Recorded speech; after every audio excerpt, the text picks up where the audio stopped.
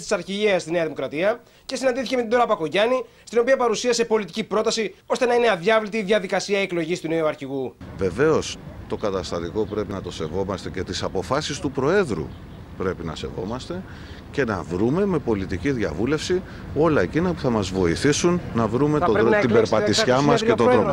Ο Βαγγέλης Μεϊμαράκης πάντως δεν απέκτησε το ενδεχόμενο να είναι υποψήφιος, ενώ την ίδια ώρα στο παρασκήνιο συγκεντρώνονται υπογραφές για τη στήριξη ενδεχόμενης υποψηφιότητάς του. Δεν είναι αυτός σκοπός ούτε η οργάνωση ούτε τα αξιώματα. Με ενδιαφέρει η φανέλα, με ενδιαφέρει η Νέα Δημοκρατία και θα την υπηρετήσω από οποιαδήποτε η θέση. Η κυρία Μπακογιάννη. Έχω ιδιαίτερες αγάπη στον προθάλαμο. Τι κάνετε; Καλά, όλα καλά.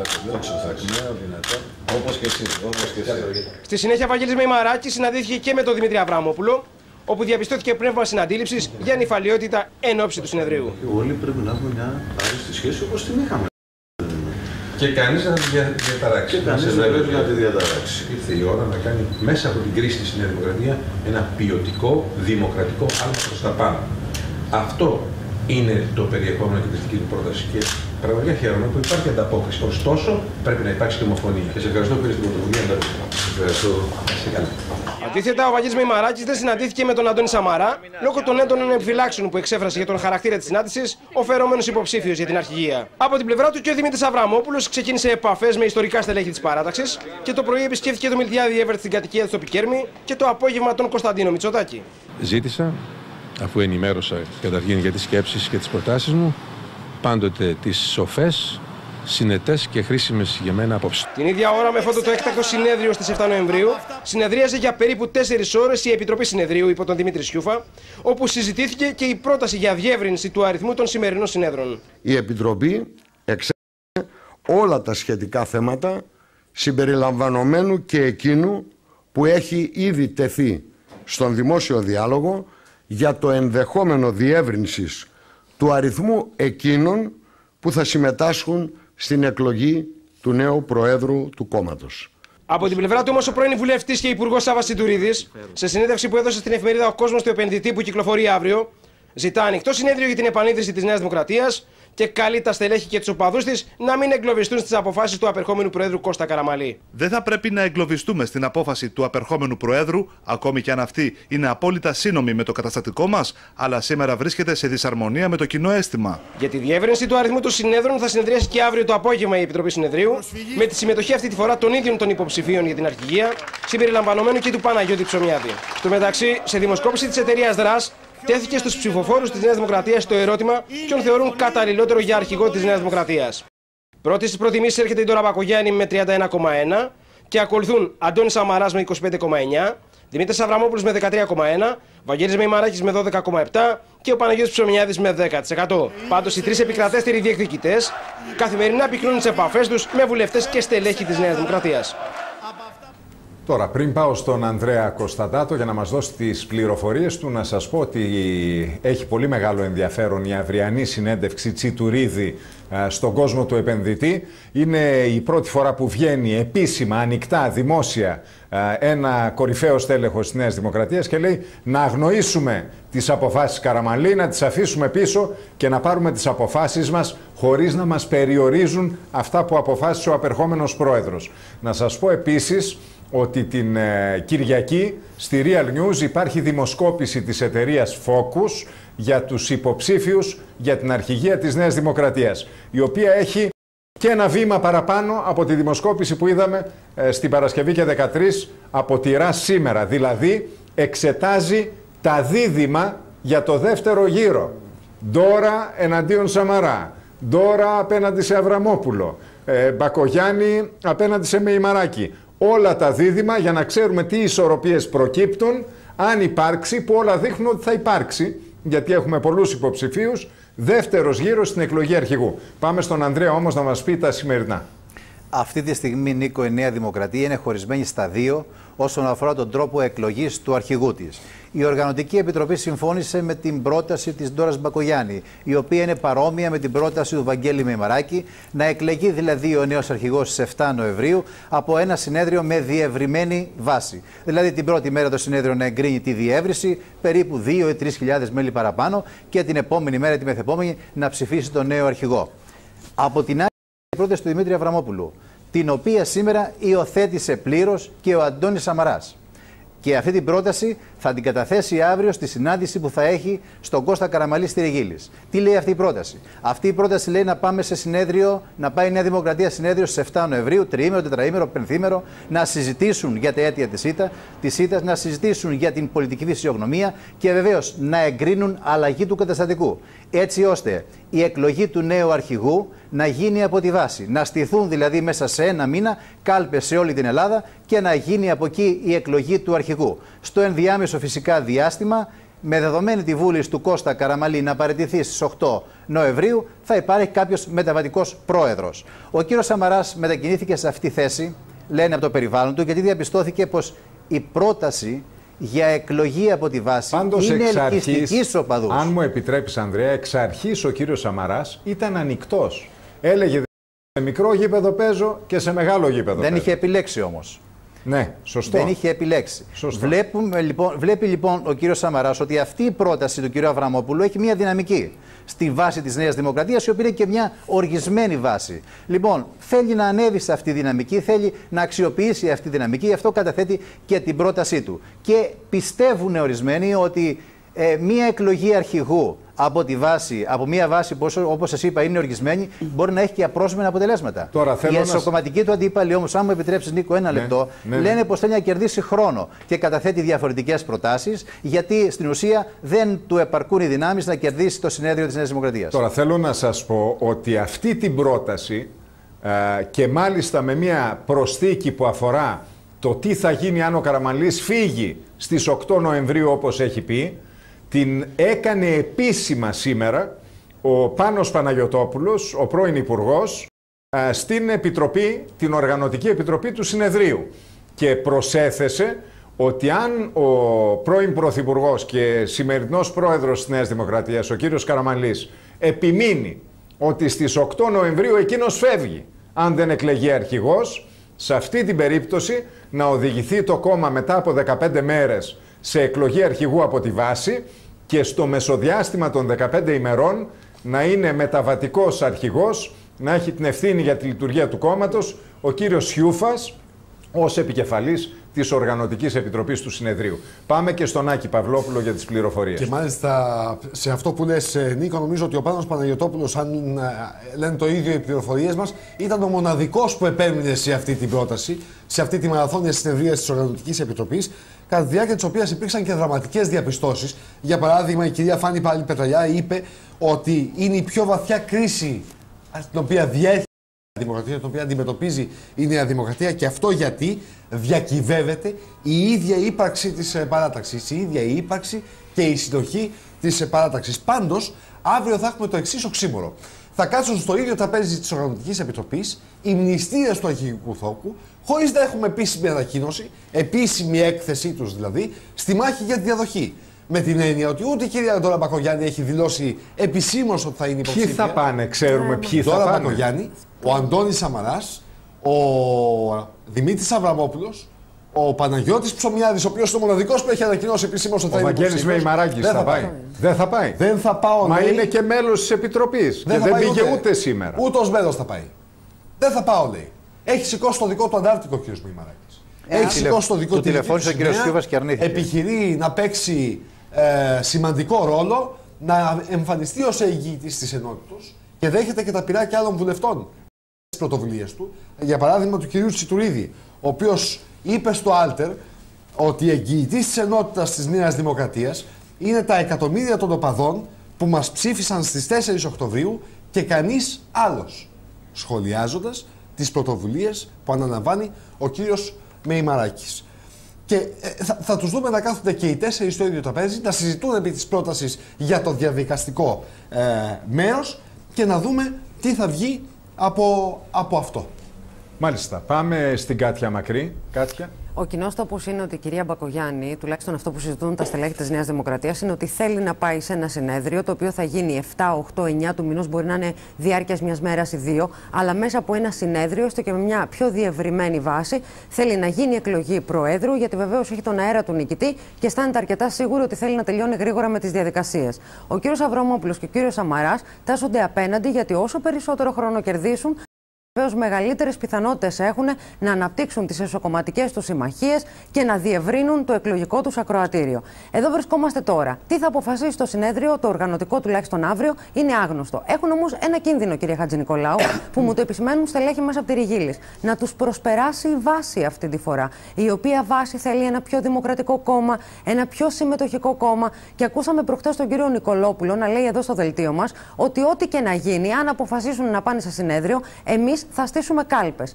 Την ίδια πληροφόρηση έχουν από τη Λάρισα. Την ίδια πληροφόρηση έχουν από τα Τρίκαλα, την ίδια πληροφόρηση έχουν από την Κρήτη.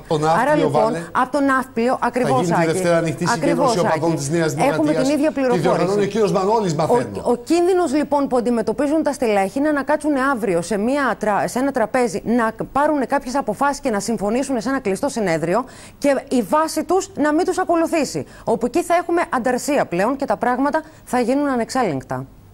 Πάμε, πάμε να ακούσουμε τώρα το σχόλιο της κυρίας Πυριώτη. Κυρία Εγώ δεν πιστεύω ότι αύριο υπάρχουν μεγάλες πιθανότητες να υπάρξει συμφωνία.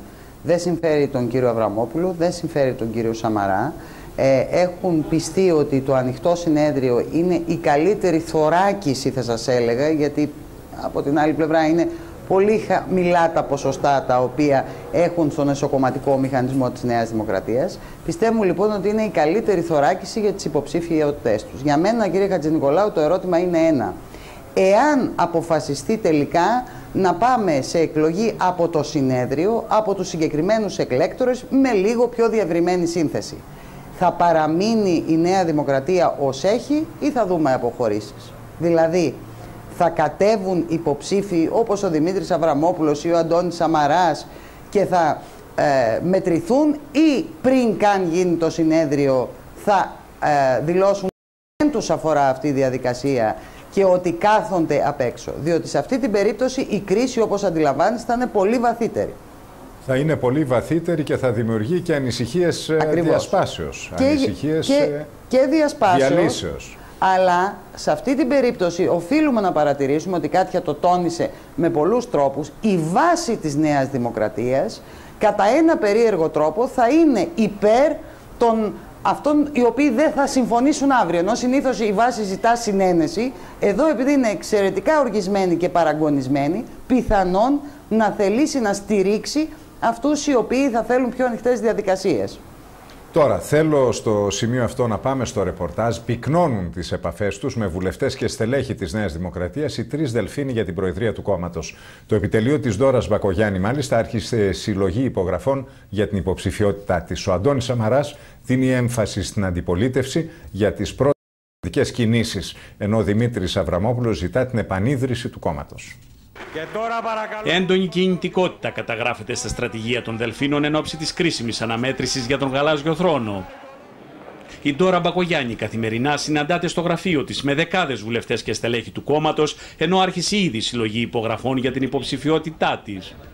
Στο ντοκουμέντο που αποκαλύπτει σήμερα η εφημερίδα Το Βήμα υπό τον τίτλο Στήριξη υποψηφιότητας Δόρα Μπακογιάννη, τα μέλη της Νέας Δημοκρατίας καλούν την πρώην Υπουργό να θέσει υποψηφιότητα για τη θέση του Προέδρου της Νέας Δημοκρατίας, προβάλλοντας ταυτόχρονα το βασικό ιδεολογικό πολιτικό πλαίσιο διεκδίκησης της αρχηγίας από την Δόρα Μπακογιάννη. Σήμερα όλοι μας έχουμε μία και μόνο επιλογή. Να κάνουμε ό,τι χρειάζεται για να πετύχουμε την αναγέννηση της παράταξης, τον ριζοσπαστικό της εξυγχρονισμό, την επαναπροσέγγιση με την κοινωνία. Όλα αυτά θα μας εγγυηθούν στο άμεσο μέλλον μια νέα νικηφόρα πορεία. Ξεκάθαρα. Ο Αντώνης Σαμαράς Ήθηκε να δει τον Βαγγέλη Μεϊμαράκη, πυκνώνει τις επαφές του με βουλευτές και στελέχη της Νέας Δημοκρατίας, ενώ σήμερα έκανε στροφή στην επικοινωνιακή του τακτική, δίνοντας έμφαση στην αντιπολίτευση στο Πασόκ. Ήδη έχουν ξεκινήσει στο Πασόκ με ορισμένα συγκεκριμένα λάθη και είναι χρήσιμο να μην τα αφήνουμε να περνάνε. Διαφωνώ όμως, για παράδειγμα, και μιλάω και ως οικονομολόγος, με τη διάσπαση του Υπουργείου Εθνικής Οικονομίας σε οικονομικών και εθνικής οικονομίας. Ο Δημήτρης Αβραμόπουλος, εκτός από τις συναντήσεις που είχε με τον Μιλτιάδη Εύερτ και τον Κωνσταντίνο Μητσοτάκη, συνεχίζει τις επαφές του με βουλευτές του Καραμαλικού Μπλοκ, ενώ εκτιμά ότι πέτυχε στρατηγική νίκη, αφού κατάφερε, όπως υποστηρίζει, να θέσει στην ατζέτα του συνεδρίου το θέμα της εκλογής του νέου αρχηγού από τη βάση του κόμματος. Πρέπει όλη η νυφάλια, μέσα σε πνεύμα ομοψυχία, ενότητας και αλληλεγγύης, να χαράξουμε μια πολιτική που θα ξεκινήσει από έναν πρώτο σταθμό που συνιστά κατά τη γνώμη μου κ. Νικολάου και την πρώτη ουσιαστική παρέμβαση, πρωτοβουλία για την επανίδρυση της Νέας Δημοκρατίας.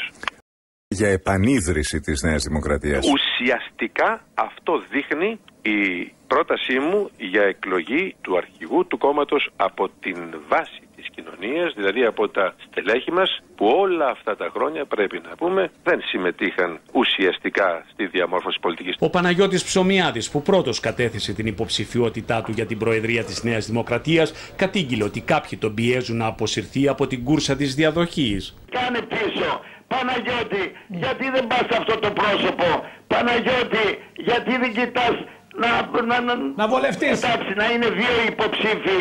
Παναγιώτη, Παναγιώτη, Παναγιώτη, ο Θεός θα το κάνουμε τραγούδι, Παναγιώτη, Παναγιώτη. Την επόμενη εβδομάδα πάντως οι υποψήφοι αρχηγοί της Νέας Δημοκρατίας αναμένεται να παρουσιάσουν αναλυτικά τις ιδεολογικο-πολιτικές τους πλατφόρμες για την επόμενη μέρα της παράταξης.